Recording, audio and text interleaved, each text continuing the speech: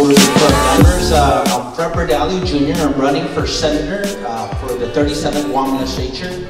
I'm a Democrat, I'm number eight on the ballot. Uh, I hail from the village of Santa Rita. My wife is a teacher at Guam Community College. She's teaching computers at Tiyan High School.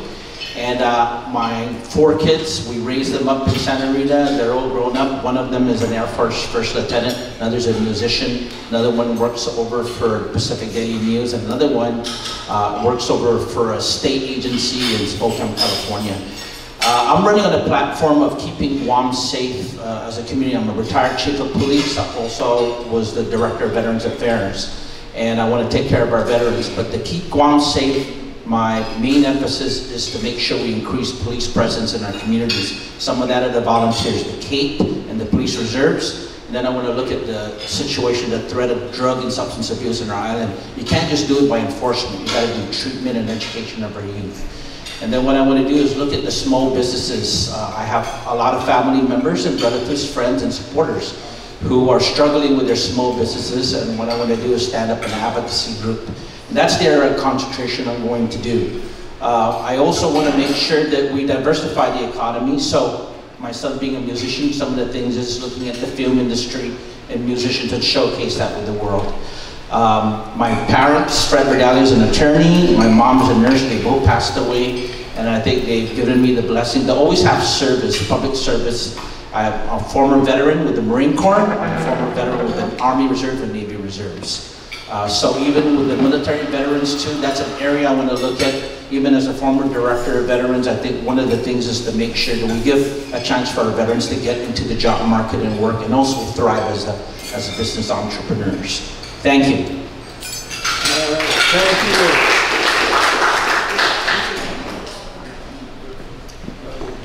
All right. Yeah, I, I'm Duncan McCulley, and we've got some questions. Okay, two minutes.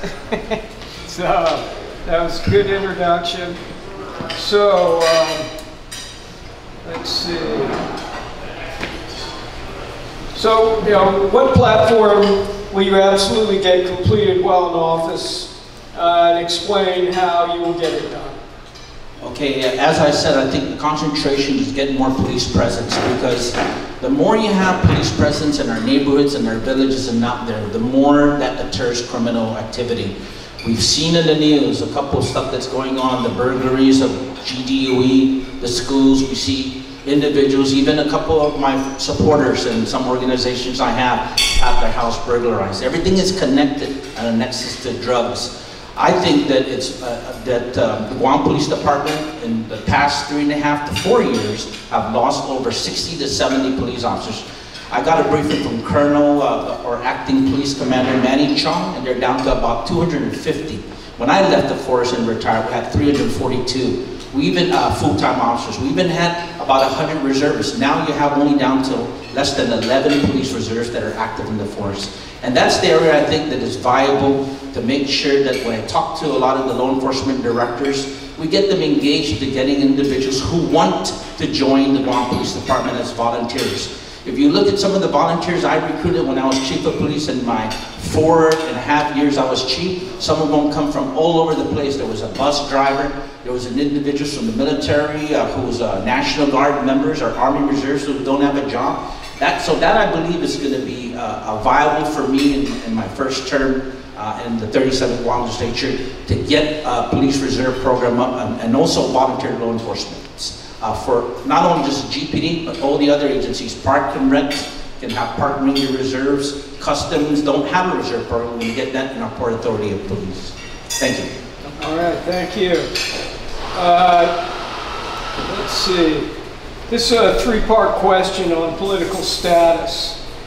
If a plebiscite was held to determine our desired political status, one, who should be allowed to vote? And two, what political status do you prefer, independent statehood, free, free, free association, and should status quo be one of those options? So if you can answer all three of those. Okay, thank you for that question. I come from a family that uh, has been uh, very uh, well involved uh, from my Uncle Ricky uh, Bordallo to, who was former governor, to my Uncle Robert Underwood, who was an OPIR uh, way back during the uh, 70s. And one of the things I feel as a, uh, from listening to the conversations around the family table is that uh, there certainly should be some political status change. We need to be a very strong partner with America. And there's three areas there. Uh, there's statehood, uh, there's free association, and then there's independence. I'm certainly not for independence because, you know, I value the, the passport, the American passport that have the U.S. I served in the military, and I think I want to be closer to the United States of America, you know, in, in terms of the, any political status change.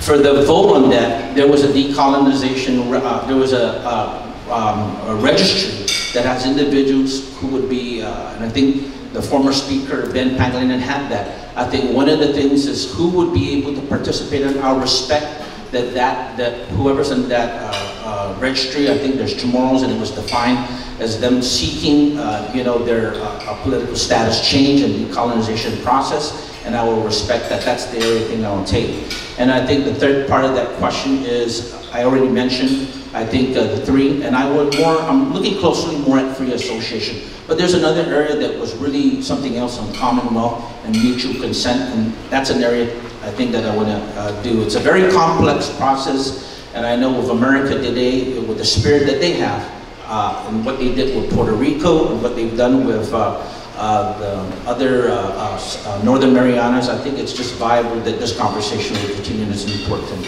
issue. Thank you. Okay. Are you in favor of a part-time legislature? Why or why not?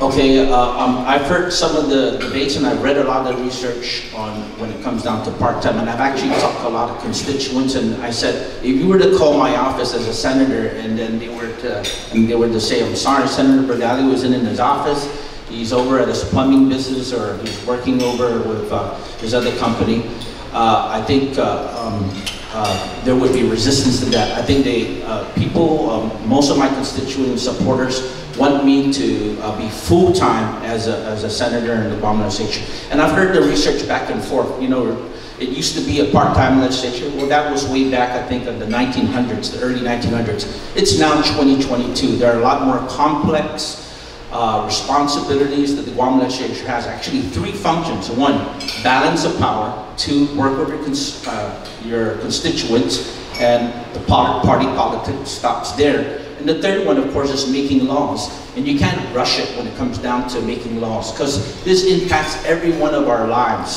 So I'm not for part-time uh, uh, legislature for, for the 37 or even beyond. I would, I think we have a case and build a case to say that those that are uh, sometimes would suggest that a part-time legislature uh, may not see the threat of weakening the legislature in terms of its balance of power with the executive branch, which is becoming so powerful, and the judiciary also, which is the third branch of government. Uh, thank you. All right. So this will be your last question.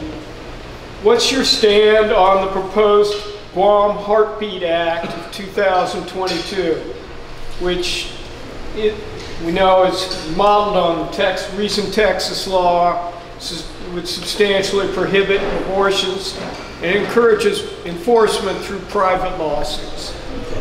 Well, this is my stance right now. I am an uh, advocate of pro-choice. I believe in the rights of women to make their personal decisions. I find it concerning too that the government uh, would have such power uh, between a woman and their physician when they're inside a, uh, you know, inside the doctor's office and what kind of decision a woman would have to make. Um, um, life has always been sacred to me too, you know, uh, and uh, and uh, I, I lived with a mom who was very religious. She was a nurse, and she uh, uh, was very religious in, in, terms of some of the things. But I think one thing about my mom, despite that religious, I think she passed down the values of all of 11 of us and my siblings. That you make the, that you you look at uh, situations where you know a doctor and a, and a in a woman's position, you know, and, and uh, the potential for control. And uh, these are the kind of aspects I got that from from my mom. I also got it from my dad, who was a lawyer, who said there are a lot of uh, um, rights that are being developed among women. They've come a long way. Uh, and uh, some of that, of course, is making their own personal decisions with a medical situation that they have. Someone said that uh, abortion, uh, so then you're pro-abortion. No, it's pro-choice, okay? It's not pro-abortion. I don't think any 16-year-old or 14-year-old wants uh, to be a pro-abortionist. And I think when they find themselves in that situation, I can't see them being charged for a crime of murder too, because sometimes that's an emotional word to use for a 14-year-old or a 15-year-old who may find themselves in a situation to have a baby, then be accused to be a murderer. I've seen murders as a police officer, believe me, and I can tell the, dis the distinction in that. Thank you. Well, thank you. Those are your four questions. All right, all right, thank you, thank you.